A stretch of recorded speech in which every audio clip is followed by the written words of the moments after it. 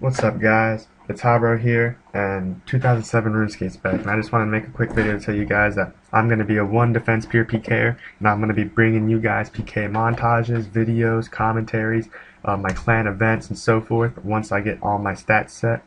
I'll probably be, probably be coming out with quest guides for important quests such as uh, Lost City, maybe Waterfall since I've already done that, Witch's House, Gnome, the uh, Gnome Village, the Grand Tree, Monkey Madness, and so much more.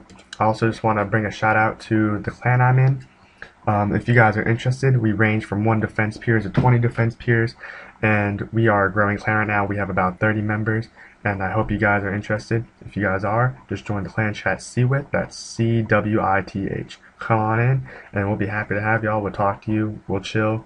We're just a growing clan, trying to get some great PKers.